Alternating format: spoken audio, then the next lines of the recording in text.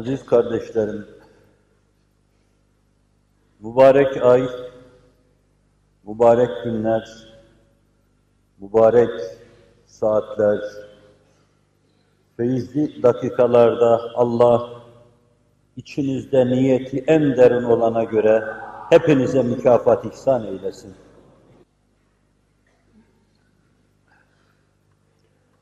Ramazan'ın bizden ayrılacağı son günlerini yaşıyoruz. Yaşayabilsek Allah yaşasın. Bir feyiz, yümün ve bereket ayıydı. Devlet kuşu gibi o devlet kuşuna başı açık olanların başına kondu ve şimdi gerilimi içinde kalkmaya, uçmaya, uzaklaşmaya hazırlanıyor. Hazreti Sadık'ı maslukun dilinde yazıklar olsun ona ki Ramazan'ı idrak etti de Allah'ın mağfiretine mazhar olmadı. Mefhumu muhalifini arz edeyim. Ne mutlu onlara ki Ramazan idrak ettiler. Allah'ın mağfireti, hediyesi ve behiyesiyle Ramazan'dan ayrılıyorlar. Öyle ayrılın inşallah Ramazan'dan. Bu sene 1990 senesi Ramazan'ı haleti nezdini yaşıyor. Size hayat üfledi. 26-27 gün size hayat üfledi. Solukları bitti ve o tükenme dakikaları içinde, tükenme günleri içinde üflediği hayatı, nefrettiği hayatı teneffüs edip iliklerinize sindirmişseniz, siz bir sene yaşayacaksınız. Öbür tarafa Allah uzun ömür versin. İntikal ettiğiniz zaman seneler yaşayacaksınız. Asırlar yaşayacaksınız. Zira içinde bir gece var ki yine Sadık-ı Masluk'un ifadesiyle Leyletül Kadir Kadri yüce o gece.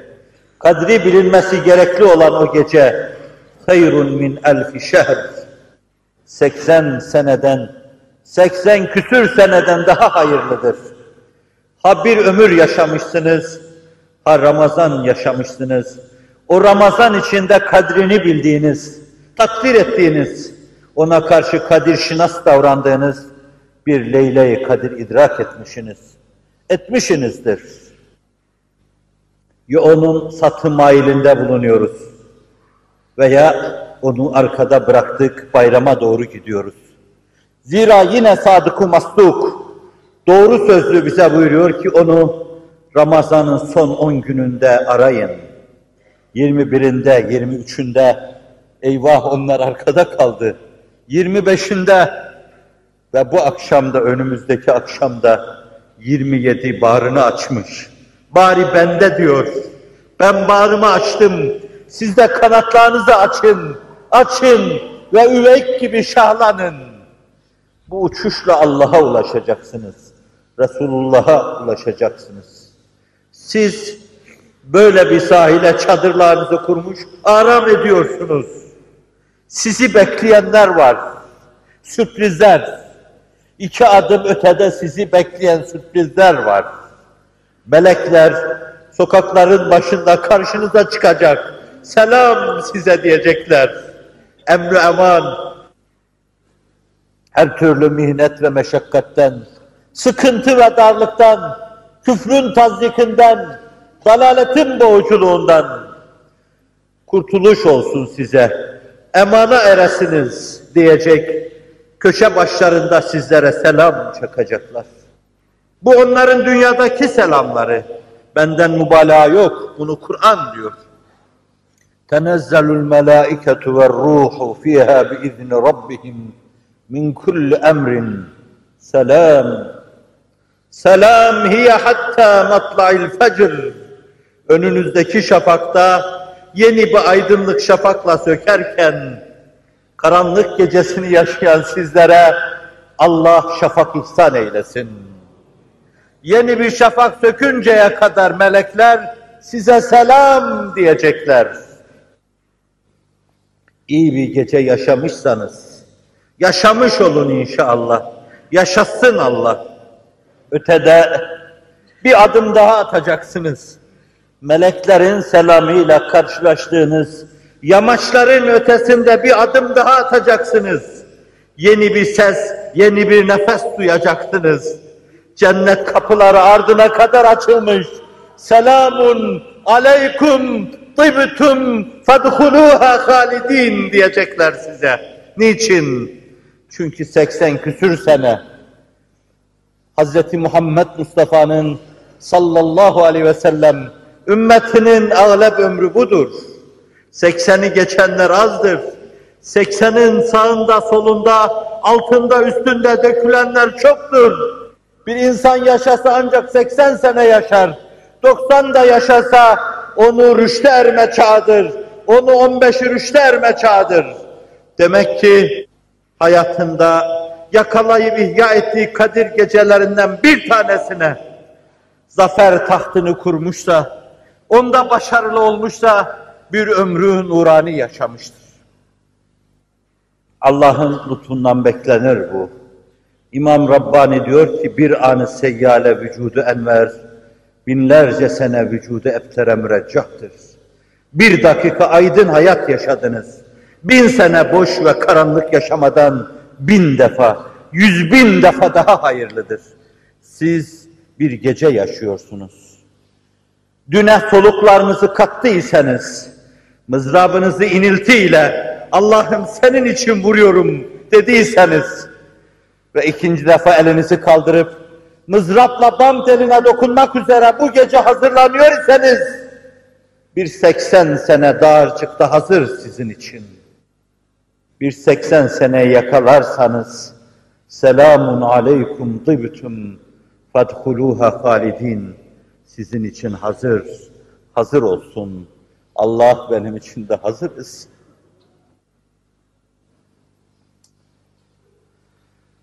Kadir gecesini size arz edecek değilim. Onu ne güzel fezail ve fevadiliyle mübarek hocalarımız naklettiler, edecekler. Daha Allah uzun ömür versin. Kent sene onlardan dinleyeceksiniz. Ama ben bir mübarek günün, bir mübarek gecenin satı mailinde bulunmanın hakkını vermek için ya ona giriş noktasını tutmuş bulunuyoruz veya çıkış noktasını tutmuş bulunuyoruz. Dilerim bu gece ve yarınki gece olsun. Siz ciddi bir metafizik gerilimle onu yakalayın. Onu tam halledin. Ondan tam istifade edin. Tam sağın. Sütün damlasını bırakmayın. Kadir gecesinin memelerinde. Emin emebildiğiniz kadar zerresi kalmasın. Öyle doyun ki bundan sonra kıyamete kadar bir yudum süt almasanız, feyizden, feyzi akdesten, mukaddesten bir yudum süt almasanız, manevi hayatınızın devamı için yetsin size o. Öyle emin, öyle değerlendirin. Bir vesileyle arz etmiştim. Mümin yapacağı her şeyi veda ediyor gibi yapmalı. Hz. Sadık-ı Mastuk'un, Muhammed Mustafa'nın sallallahu aleyhi ve sellem hayatı yaşadığı gibi yaşayın.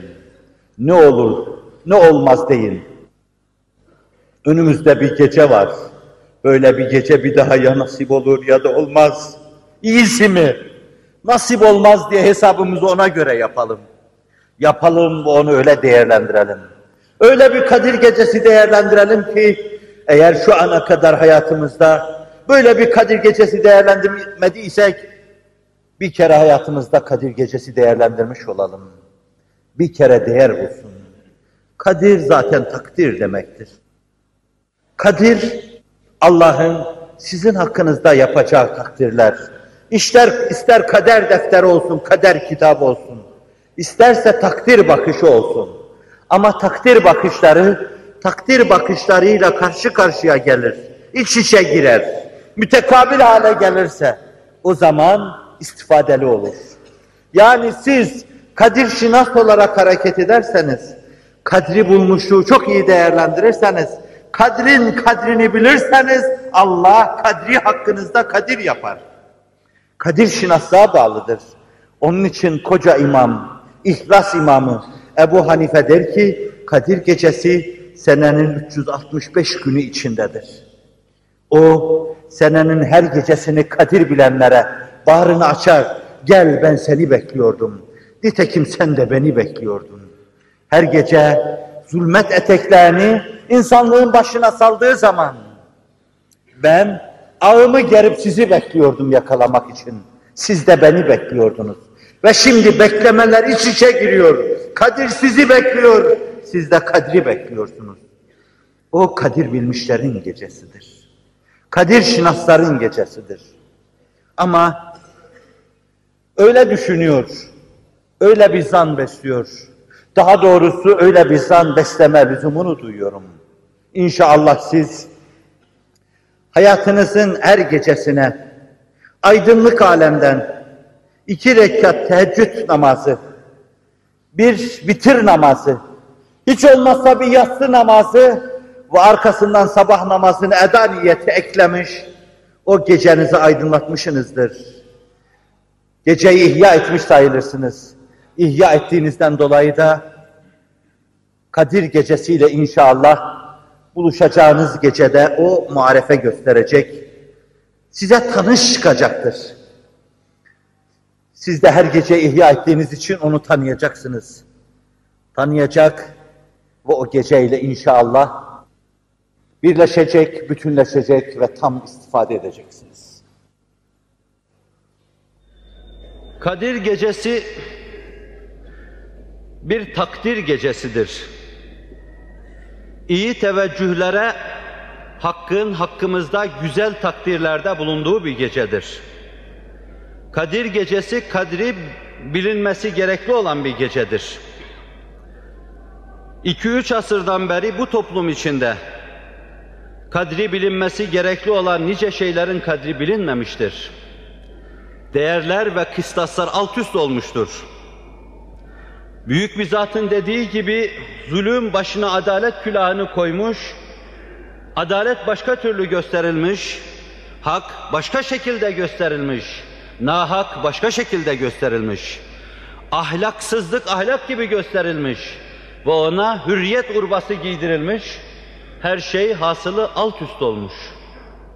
İhtimal ki başkalarının çok iyi değerlendirdiği, kadrini bildiği Kadir gecesi de belli bir dönem Kadir naşinasların elinde kadri bilinmeden her sene bir kere geldi, geçti. İnsanlar onu bir ayın bir gününde aradılar. Aslında o Ebu Hanife'nin noktayı nazarından bütün sene aranması gerekli olan bir geceydi. O bütün sene aranacaktı. Ramazanın içinde mi, dışında mı? Sonra bir gece bir köşede kıstırılıp yakalanacaktı.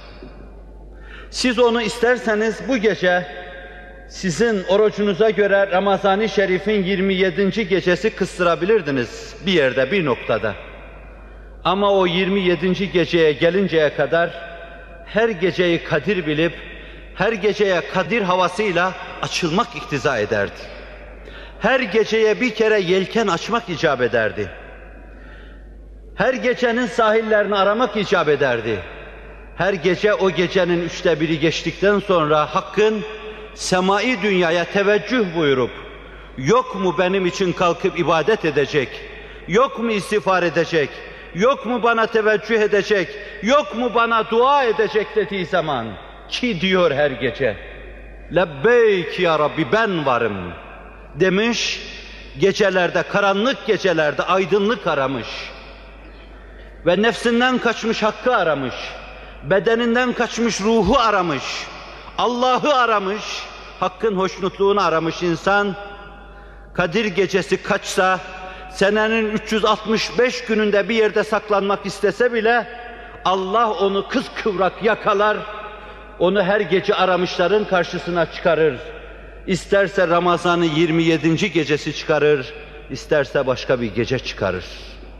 Önemli olan mesele, gecenin kadrinin bilinmesi, ona karşı vefa hissiyle inanan fertlerin gerilmesidir.